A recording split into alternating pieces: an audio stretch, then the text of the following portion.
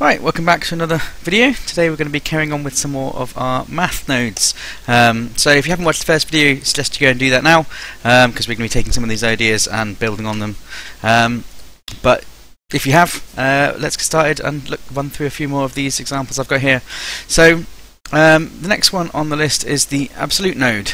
Um, so before I talk about the absolute node too much, I want to talk a little bit about sine waves. So, uh, sine waves are something we use quite a lot in VFX when we want to do some animation. Um, and if we just debug a scalar, um, place this in here. So a sine wave is something that uh, kind of oscillates back and forth between minus 1 and 1. And you can see that in the numbers here. If I go in here, have a look at my graphical calculator, take the sine of x. Here we get these values going from sine, uh, some positive 1 to negative 1. Um, and a sine wave starts at 0. Um, you might remember cosine wave. Cosine wave is the exact same waveform um, in that it starts at uh, or goes between 1 and minus 1, um, but cosine starts at uh, at 1 instead of at 0, so they've just been offset slightly in time. Um, Obviously they both exist in Unreal. We can do time sine, we can do cosine as well. Um, and this will just be the same but slightly offset. And remember, uh, Unreal can't really display negative numbers, so uh, this is where potentially our absolute might come in. Um, so the absolute of something uh, just ignores any negatives. So if we put in minus 1 and absolute it, we get 1, which is the same as this. And if we absolute our sine wave, see we're getting this kind of like bouncing, pulsing. Can be useful for things. So here, um, let's get rid of that a sec. I think it's done as abs, um, and then sine x. There we are. You can see it's just ignoring all those negative numbers, and we're getting this kind of bouncing pattern, um, which is pretty cool. Um, it can be quite useful. So, um, yeah, that's what the absolute node does. Um, and hopefully, yeah, some sines and, and cosines and things. So, um, moving on. Let's close that. Um, someone made a request about uh, the clamp node and when to use it. So we did have a quick look at using clamp here, or we were using a clamp here um, last time. But there's a few other ways we can use clamps. So firstly, what does a clamp do? Well, if I take this texture, this is just a normal packed clouds texture. So it's three different cloud noises in different channels. We do this quite a lot uh, in games to reuse different things. We only need black and white masks. Well, textures have full RGB. May as well pack in three different masks together. Um, and we can see here we've got values in the range from 0 to 1. Now what a clamp does is basically says any number that's below that or above that um, just clamp it off. So you can see here these values in grey. So I'm clamping now between, let's say, 0.5 and 1. Any values that were darker than that, our range here now will be 0.5 to 1. Uh, anything that were darker than that, so anything of the, the darks that were in here, um, they've just been ignored. They've just been flattened out. So all this dark values down here um, are being removed. Uh, and the same in reverse. So you can do 0 and 0.5. Now any of the light values are being removed. So we're getting mid-grey. Um, not hugely useful when you're working between 0 and 1, but quite often you can do a bunch of maths to something and then clamp it back to 0 to 1 and that would be really useful. That's what we were doing before here. We were getting very high values and then clamping back, um, getting these kind of like areas of black and white. Uh, and we can do the same thing. So um, if I take a sine wave just do this. Well, um, a sine wave is very repetitive. I'll put that one back on. What you could do, um, if I start doing sine of a different period, so let's say sine 2x or sine uh, 1.5x, something like that, if I combine these two together, they're both very repetitive. By the time I combine them together, sine 1.5x plus sine x, I hide these two. You can see how they're kind of combining together into something a bit more irregular. It's still a repeating pattern, but it repeats over a long, lot longer period. Um, and so you could then maybe have sine, I don't know, 0.7 plus x in there, uh, plus sine x sine 5x. You can see how we're starting to build up this quite a regular pattern. Um, and it might be that we wanted to clamp this between 0 and 1.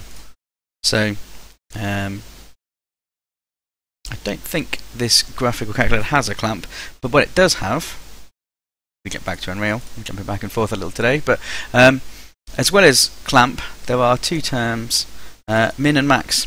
And min and max basically do the exact same things that clamp are doing, but only the two ends of it, as it were. So clamp does both a min and a max at the same time.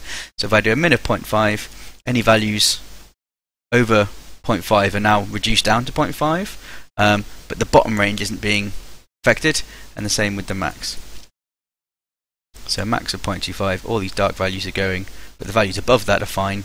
Um, I hope that makes sense. Um, so a clamp effectively is a min and max at the same time. So going back to my graphical calculator, um, if I take this, I can do a min of this and 1.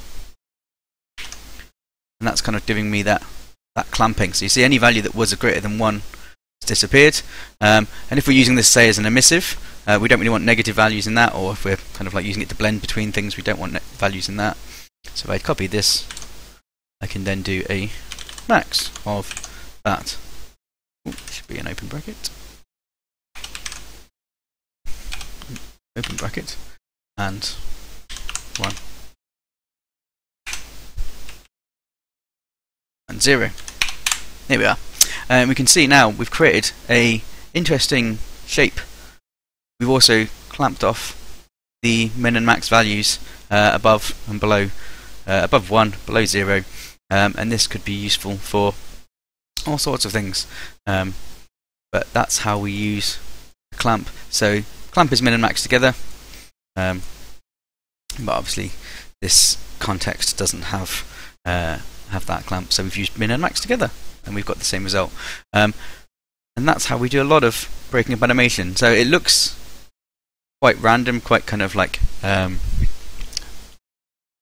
difficult to see any repeating patterns in this.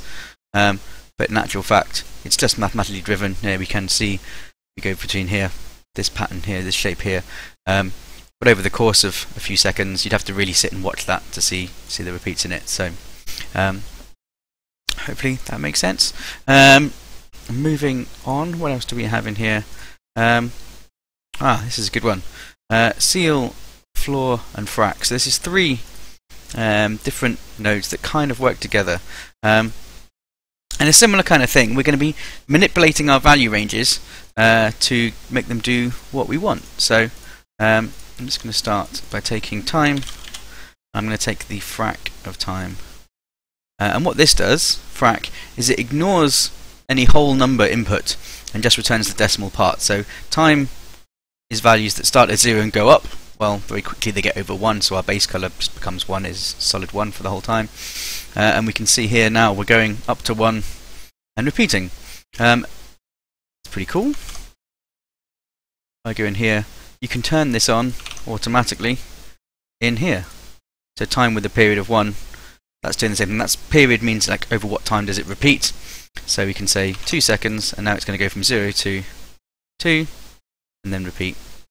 Um, but time with a period of 1 is the same as the frac of time. And just to show that on the graphical calculator, it's a slightly different terminology, um, but if we do mod x1, zoom back in again, um, you can see this is going from 0 to 1 and then repeating. And this is the kind of um, the pattern we're making by doing a frac. So if we take so x is y, that's effectively time. Starts at 0, goes up, and now we're making it repeat using that, that frac command, um, which can be really useful. Um, so both sine x and frac x are ways of taking an, a sort of uh, an infinitely expanding set of numbers such as time, uh, and then making them into something that repeats and loops, which can be really useful for doing kind of material animations and things with. So um, that is Frac, and if we plug in a texture, well, it's doing nothing, isn't it? Because this has already had values between 0 and 1. So the fracking, that it's just there are no whole numbers to ignore. But if we multiply it by 2 first, then we can start getting some really interesting patterns. Um, and so the value, what was mid-grey, is now a kind of threshold between black and white. Uh, and if I increase the number of layers, and say we can go and turn a quite kind of sort of soft clouds noise, nothing too um, high frequency there. It's you um, you see just lots of mid-grey values. If I multiply it by three and then frac it back, we can get this really quite kind of um, some interesting things in here. And because it's a um, taking an, an, infinite loop or an infinite number set and making it repeat, if we add time to our texture, apply it and then frac it, we can animate all those things, and you can make some really quite interesting patterns. Maybe a bit fast. Um, from just a few simple maths and uh, a simple kind of clouds noise. Um, which is pretty cool. Um, so if that's what Frac does, I'm just going to plug that for a second. Uh, what does Ceil do? So Ceil, if I just plug it in into base color, we will get uh, white. Um, if we plug in floor, we'll get black. Well, what are they doing? What they're actually doing uh, is reducing every value down to the nearest whole number or up the nearest whole number. Um, so again, it doesn't really work with our 0 to 1 range, but if we go in here and we multiply our, our texture first, and then ceil it, well, always thinking about ranges, multiplied by 3, so our range is now from 0 to 3. We ceil that, everything's going to be going up, so anything that was in that first range, uh, so our value is now going to be 0, 1, 2, and 3. No, they're not. 1, 2, and 3. Um, so we need to divide them back again. So because we've multiplied them up by 3, we need to divide them back by 3 to get them back to 0 to 1, to get them to be visible. And hopefully, you can see, um, it's given us discrete patterns. So where we um, where we had values in our original texture that were darkest, it's taken that out and it's making that into a fixed pattern. Um, and the same you can do this. So ceil goes up and rounds up like the ceiling uh, and floor rounds down. So if I do a floor instead same thing of multiplying and then flooring. So a floor will give me 0 1 and 2 the outputs here and ceil give me 0 1 and 3 so or 1 2, 1 2 and 3 get my things right. So here we're getting pure black and then two other ranges and here we're getting pure white uh, and two other ranges. So um, another way there of creating some interesting discrete patterns. And just to graph that on, if I turn off sine, second, uh, create another one here. Um, the way this would be would be x minus mod x comma 1. I just hide that. So you can see anything between 0 and 1 rounds down to 0. Anything between 1 and 2 rounds down to 1. So this would be effectively a floor. Um, and we do the same copy paste and just do that as an add it's not right. It's not, not right. Ah, that's right. So x minus of mod 1, and then plus 1. Plus 1. There we are. Uh, so effectively, this would now be a ceil. So anything between 0 and 1 rounds up. Anything between 0 and 1 there rounds down. Um, and hopefully you can see how, again, we've made a set of discrete numbers out of a fixed input. Really cool. Um, what's our next one? Yeah. Time. Yep. Um, so, now we've got our masks and they're doing lots of cool things. Um, what can we actually do with our with them? Um, well, we might want to use a lerp. Might use a, a, a, blend between two things. So here, I've plugged in two colours, red and blue. If I just plug in an alpha, just plug in a scalar value for this. Uh, if I plug in 0 to my alpha, um, it's going to give me the red, it's going to give me what's in A. If I plug in 1 in as the alpha, it's going to give me what's in blue. Uh, 0.5, it's going to blend between them.